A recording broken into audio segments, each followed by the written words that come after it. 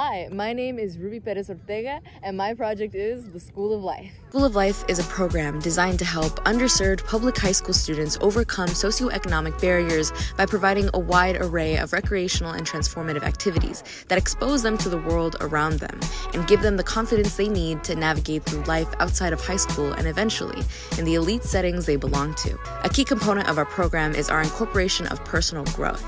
After nine weeks and after more than 60 self improvement exercises, the 32 students we accepted are finally answering the question of who they are and what they want in this life by creating their own personal passion projects. This program is an actual stepping stone towards creating an educational experience that public school kids have been in search for their whole lives. Along with this, we have hosted Arts and Crafts Day for kids in the 4th through 8th grade that have the same elements of personal leadership. But we are not done spreading the message of self reliance and passion passion. Just wait to see what's next.